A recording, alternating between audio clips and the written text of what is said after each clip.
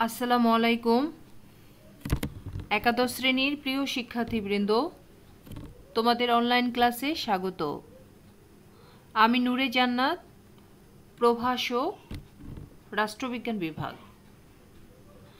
একাদশ শ্রেণির পৌরনীতি ও সুশাসন দ্বিতীয় পত্র ক্লাসে আজকের বিষয়, নাগরিক সমস্যা ও আমাদের করণীয়। এখানে আমি তোমাদের সাথে জলবায়ু পরিবর্তনের কারণ এবং জলবায়ু পরিবর্তনের প্রভাব সম্পর্কে আলোচনা করব।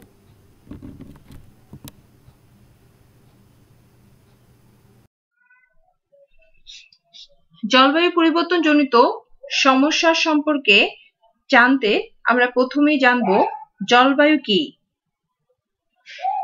কোন স্থানে স্বল্প সময়ে, অর্থাৎ একদিন থেকে সাত দিনের বায়ু, তাপ, বৃষ্টিপাত ইত্যাদির গড় অবস্থাকে আবহাওয়া বলে। সাধারণত ত্রিশ বছরের বেশি সময়ে আবহাওয়ার গড়কে জলবায়ু বলে। কোন জায়গার গড় জলবায়ুর দীর্ঘমেয়াদী ও অর্থপূর্ণ পরিবর্তনকে জলবায়ু পরিবর্তন বলা হয়। জলবায়ু পরিবর্তনজনিত সমস্যা বলতে বিশ্বব্যাপী জলবায়ু পরিবর্তনের ফলে যে অস্থায়ী বা স্থায়ী নেতিবাচক প্রভাব পড়ছে তাকে বোঝায়। জলবায়ু পরিবর্তনজনিত সমস্যা হলো বারবার বন্যা, খরা, অতিবৃষ্টি, অনাবৃষ্টি, ঘূর্ণিঝড়, জলোচ্ছ্বাস, বিভিন্ন প্রাকৃতিক দুর্যোগ, বনাঞ্চল দ্রুত হ্রাস প্রভৃতি। জলবায়ু পরিবর্তন বর্তমান বিশ্বের জন্য সবচেয়ে বড় চ্যালেঞ্জ হিসেবে উপনীত হয়েছে। জলবায়ু পরিবর্তনের সবচেয়ে বড় কারণ বৈশ্বিক উষ্ণতা বৃদ্ধি, যার ফলে আবহাওয়া পরিবর্তিত হয়েছে সমুদ্র পৃষ্ঠের উচ্চতা বেড়েছে এবং বিশ্ব নিয়মিত প্রাকৃতিক দুর্যোগের সম্মুখীন হচ্ছে। কি কি কারণে জলবায়ু পরিবর্তিত হচ্ছে সে বিষয়ে আলোচনা করব। বৈশ্বিক উষ্ণতা বৃদ্ধি। বৈশ্বিক উষ্ণতা বেড়ে যাওয়ার কারণ বায়ুমণ্ডলে তাপমাত্রা বৃদ্ধি এবং এই তাপমাত্রা বেড়ে যাওয়ার প্রধান কারণ গ্রিন হাউস ইফেক্ট। সূর্য থেকে আগত তাপশক্তি পৃথিবী পৃষ্ঠকে উত্তপ্ত করে। এবং এ বিকিরিত তাপশক্তির অধিকাংশই পুনরায় বায়ুমণ্ডলে ফিরে যায়। কিন্তু মানব সৃষ্ট দূষণ এবং বনভূমি উজাড় করার ফলে বায়ুমণ্ডলে গ্রিন হাউস হাউস গ্যাসের পরিমাণ আশঙ্কাজনকভাবে বেড়ে গেছে, যা কার্বন ডাই অক্সাইড মিথেন ও নাইট্রাস অক্সাইডের সমন্বয়ে গঠিত। এর ফলে বিকিরিত তাপশক্তি পুনরায় বায়ুমণ্ডলে ফিরে যাওয়ার পথে বাধাপ্রাপ্ত হয় এবং এভাবেই বায়ুমণ্ডলে তাপমাত্রা বৃদ্ধি পায়। আধুনিককালে ব্যাপক হারে জীবাশ্ম জ্বালানি দহন, বনাঞ্চল ধ্বংস, শিল্পায়নের ফলে গ্রিন হাউস ইফেক্টের মাত্রা অনেক বেশি বেড়ে গেছে। এর ফলে আঠারোশো পঞ্চাশ থেকে উনিশশো ষাট সালের মধ্যে পৃথিবীর তাপমাত্রা প্রায় পাঁচ গুণ বৃদ্ধি পেয়েছে। এই অতিরিক্ত তাপমাত্রা বৃদ্ধির ফলে বর্তমান বিশ্ব প্রতিনিয়ত বিভিন্ন পরিবেশগত বিপর্যয়ের সম্মুখীন হচ্ছে। পরিবেশ বিপর্যয়ের ফলে সবচেয়ে ঝুঁকিপূর্ণ দেশের মধ্যে বাংলাদেশ অন্যতম। ওজোন স্তরের ক্ষয়। মহাশূন্যের আবহাওয়া মণ্ডলে ওজোন স্তর নামে অদৃশ্য এক বেষ্টনী বিদ্যমান, যা পৃথিবীতে সূর্যের ক্ষতিকর অতিবেগুনি রশ্মি প্রবেশ রোধ করে এবং বিকিরণ প্রক্রিয়ায় পৃথিবী থেকে আসা তাপ মহাশূন্যে পুনরায় ফিরে যেতে সহায়তা করে। কিন্তু মানবসৃষ্ট দূষণ ও বনাঞ্চল ধ্বংসের ফলে প্রকৃতি প্রদত্ত নিরাপত্তা বেষ্টনী ওজন স্তর ক্ষয়প্রাপ্ত হচ্ছে। গৃহস্থালী পণ্য যেমন ফ্রিজ, এয়ার কন্ডিশনার, বিভিন্ন ধরনের স্প্রে ইত্যাদিতে ব্যবহৃত হয় ক্লোরোফ্লোরোকার্বন বা সিএফসি গ্যাস, যা শিল্প কারখানাতেও ব্যবহৃত হয়। এই অবমুক্ত সিএফসি মহাশূন্যের ওজন স্তর ক্ষয়ের অন্যতম কারণ। এছাড়া গৃহস্থালী ও শিল্প বর্জ্য কলকারখানা ও যানবাহনের ধোঁয়া প্রভৃতি থেকে ক্রমবর্ধমান হারে নির্গত হচ্ছে carbon dioxide nitrous oxide ও মিথেন গ্যাস একদিকে পরিবেশ দূষণ ও অপরদিকে বনভূমি উজাড় করার ফলে অতিরিক্ত কার্বন ডাই অক্সাইড শোষিত হচ্ছে না। এর ফলে বায়ুমণ্ডলে কার্বন ডাই অক্সাইডের মাত্রাতিরিক্ত বৃদ্ধি দেখা দিচ্ছে, যা সূর্য থেকে আগত তাপ বায়ুমণ্ডলে ধরে রাখে। এভাবে একদিকে ওজন স্তরের ক্ষয়জনিত কারণে মাত্রাতিরিক্ত সূর্যের অতিবেগুনি রশ্মি পৃথিবীতে পৌঁছাচ্ছে, অন্যদিকে বায়ুমণ্ডলে প্রতিনিয়ত তাপ সঞ্চিত হচ্ছে। এভাবে পৃথিবী হয়ে উঠছে উত্তপ্ত। সামগ্রিকভাবে পরিবেশ বিপন্ন হওয়ার ফলে পৃথিবী প্রাকৃতিক বিপর্যয়ের সম্মুখীন হচ্ছে। বৃক্ষ নিধন ও বনভূমি উজাড়। জনসংখ্যা বৃদ্ধি পাবার ফলে ঘরবাড়ি তৈরি আসবাবপত্র তৈরি, জ্বালানি কাজে ব্যবহার ইত্যাদি কারণে অপরিকল্পিত ও অধিকারে বৃক্ষ নিধন করা হচ্ছে। এর ফলে বনভূমি উজাড় হচ্ছে এবং কার্বন ডাই অক্সাইডের পরিমাণ বৃদ্ধি পাচ্ছে। সাথে সাথে বাড়ছে পৃথিবীর তাপমাত্রা। এর ফলে বরফ গলছে এবং সমুদ্র পৃষ্ঠের উচ্চতা বৃদ্ধি পাচ্ছে। Greenhouse effect. গ্রিন হাউস এফেক্টের কারণে জলবায়ু পরিবর্তিত হচ্ছে। গ্রিন হাউস হলো কাঁচে ঘেরা ঘর, যেখানে আলো আটকে শাকসবজি ইত্যাদি চাষাবাদ করা হয়। এর ফলে গ্রিন হাউসের ভিতরে তাপমাত্রা বৃদ্ধি পেয়ে পরিবেশের ভারসাম্য নষ্ট করে ফেলছে। সম্প্রতি সময়ে গ্রিন হাউস এফেক্টের মাত্রা অনেক বেশি বেড়ে যাওয়ায় জলবায়ু পরিবর্তনজনিত সমস্যার সৃষ্টি হচ্ছে। অপরিকল্পিত নগরায়ন ও শিল্পায়ন বিশ্বের উন্নয়নশীল এবং উন্নত দেশগুলোতে জীবাশ্ম জ্বালানি, পারমাণবিক চুল্লি ব্যবহারের হার ক্রমাগত বৃদ্ধি পেয়েই চলছে। শিল্প কারখানা বর্জ্য ও কালো ধোঁয়া থেকেও নির্গত হচ্ছে প্রচুর পরিমাণ পারদ, সীসা ও আর্সেনিক। সমুদ্রে তেজস্ক্রিয় বর্জ্য নিক্ষেপ করা হচ্ছে। এর ফলে বায়ু দূষণ ঘটছে। ওজন স্তরে ক্ষতি হচ্ছে। যানবাহনে নির্গত কালো ধোঁয়া অর্থাৎ কার্বন ডাইঅক্সাইড বায়ুমণ্ডলে ওজন স্তরকে ক্ষতিগ্রস্ত করছে। কৃষিতে রাসায়নিক দ্রব্যের ব্যবহার। কৃষিতে যান্ত্রিক সেচ, রাসায়নিক সার, কীটনাশক প্রভৃতি ব্যবহারের ফলেও বায়ুমণ্ডলে ওজন স্তর ক্ষতিগ্রস্ত হচ্ছে। এর সবকিছুর ফলে গ্রিন হাউস গ্যাস বৃদ্ধি পাচ্ছে এবং তা বিশ্বকে উষ্ণ করে তুলছে।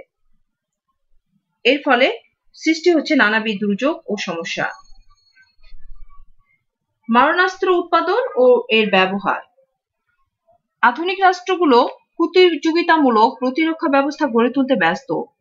এজন্য নানা রকম পারমাণবিক, রাসায়নিক অস্ত্রের নিরীক্ষা পরীক্ষা, উৎপাদন, জলবায়ু পরিবর্তনে কাজ করছে। যুদ্ধক্ষেত্রে ব্যবহৃত রাসায়নিক জীবাণু, অস্ত্র, পরিবেশ ও জলবায়ুর ক্ষতি সাধন করছে। জলবায়ুর পরিবর্তনের ফলে যেসব সমস্যার সৃষ্টি হয়েছে, সে সম্পর্কে আলোচনা করব। সমুদ্রপৃষ্ঠের উচ্চতা বৃদ্ধি। বিশ্ব উষ্ণায়নের একটি সম্ভাব্য পরিণতি হল সমুদ্রপৃষ্ঠের উচ্চতা বৃদ্ধি। বায়ুমণ্ডলের তাপমাত্রা বৃদ্ধি পেলে ভূপৃষ্ঠের তাপমাত্রা বৃদ্ধি পাবে। এর ফলে সমুদ্রের পানির উত্তাপ বৃদ্ধি পাবে এবং পানি সম্প্রসারিত হয়ে সমুদ্রের আয়তন ও পরিধিকে বাড়িয়ে তুলবে। উষ্ণায়নের ফলে হিমালয় সহ অন্যান্য পর্বতচূড়ায় জমে থাকা বরফ গলে যাবে এবং সমুদ্রের পানির উচ্চতা বেড়ে যাবে। এর ফলে সমুদ্রপৃষ্ঠের উচ্চতা বৃদ্ধির সাথে সাথে প্লাবিত এলাকার পরিমাণও বেড়ে যাবে। উত্তর ও দক্ষিণ মেরুর গ্রিনল্যান্ড, অ্যান্টার্কটিকা সহ অন্যান্য ভূভাগের বরফ গলে যাবে, যা সমুদ্রপৃষ্ঠের উচ্চতা আশঙ্কাজনকভাবে বাড়িয়ে তুলবে এভাবে সমুদ্রপৃষ্ঠের উচ্চতা বৃদ্ধি পাবে। বাংলাদেশ বিশ্বের অন্যতম বৃহৎ বদ্বীপ, যেখানে অসংখ্য নদ নদী রয়েছে।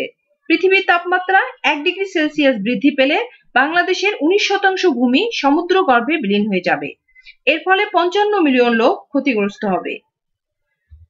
মরুভূমির বৈশিষ্ট্য। বৈশ্বিক উষ্ণতা বৃদ্ধির ফলে একদিকে যেমন পৃথিবীর নিচু এলাকা সমূহ সমুদ্র গর্ভে বিলীন হয়ে যাবে, তেমনি পৃথিবীর বিভিন্ন অংশে মরুভূমির বৈশিষ্ট্য দেখা দেবে। বৈশ্বিক উষ্ণতা বৃদ্ধি পাওয়ার সাথে সাথে ভূপৃষ্ঠের পানির পরিমাণ ক্রমাগত হ্রাস পাবে। ফলে সমগ্র ভূমি মরুভূমিতে পরিণত হবে। এর ফলে কৃষিকাজ মারাত্মকভাবে ক্ষতিগ্রস্ত হবে এবং জীব বৈচিত্র্য হুমকির সম্মুখীন হবে। বাংলাদেশের উত্তরাঞ্চলে ইতোমধ্যে মরুভূমির বৈশিষ্ট্য দেখা দিয়েছে। এর ফলে খাদ্য উৎপাদন ব্যাহত সহ তা দেশের অর্থনীতিতে নেতিবাচক প্রভাব ফেলবে।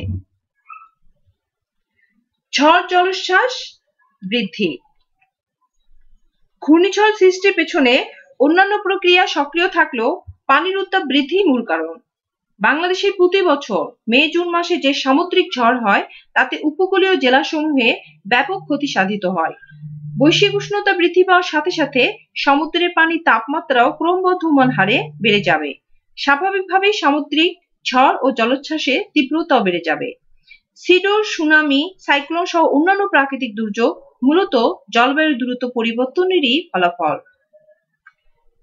বন্যা পাহাড়ি ঢলের কারণে বাংলাদেশের উত্তর পূর্বাঞ্চলে বিশেষত মেঘনা অববাহিকায়, প্রতি বছর আকস্মিক বন্যা দেখা দেয়। দেশের উত্তর পূর্বাঞ্চলে প্রায় চার হাজার বর্গ কিলোমিটার এবং দক্ষিণ পূর্বাঞ্চলে প্রায় এক হাজার চারশো বর্গ কিলোমিটার এলাকা এ ধরনের আকস্মিক বন্যার শিকার। জলবায়ু পরিবর্তনের ফলে বৃষ্টিপাত ও পাহাড়ি ঢলের পরিমাণ আরও বেড়ে যাচ্ছে। লবণাক্ততা বৃদ্ধি।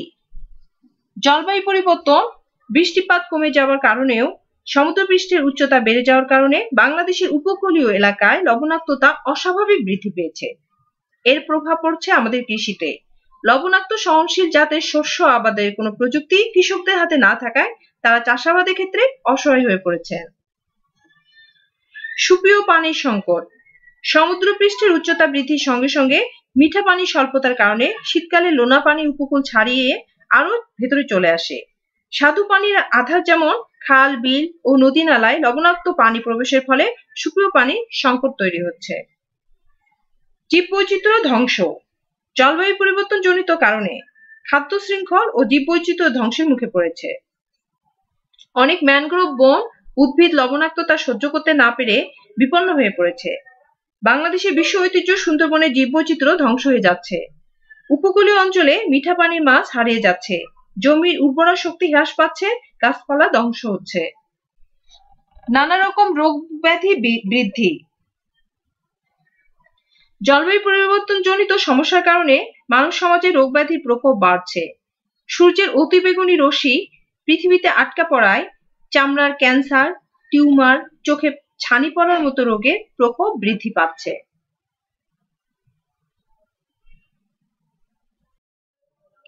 জলবায়ু পরিবর্তন জনিত সমস্যা শুধুমাত্র বাংলাদেশের জন্য নয়, বরং সমগ্র বিশ্ব ও মানবজাতির জন্য হুমকি স্বরূপ বৈশ্বিক উষ্ণতা রোধে যে বিষয়গুলোর উপর জোর দিতে হবে, তা হলো ব্যাপকভাবে বনায়ন কর্মসূচি গ্রহণ করতে হবে, দেশের সমুদ্র উপকূলবর্তী এলাকায় ও নদী তীরবর্তী এলাকাসমূহে বনায়ন কর্মসূচি যত দ্রুত সম্ভব শুরু করতে হবে।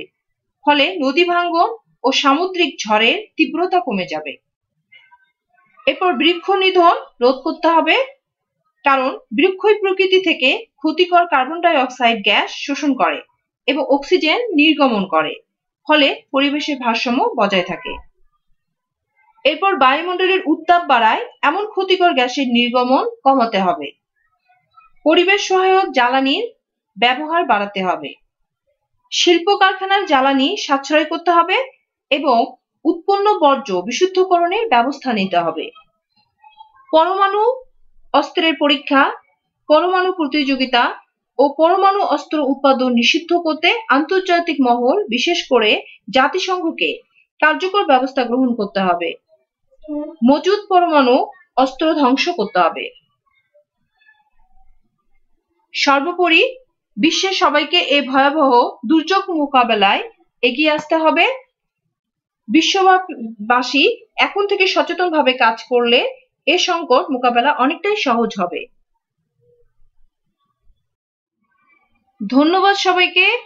সবাই সুস্থ থেকো, ভালো থেকো। আল্লাহ হাফেজ।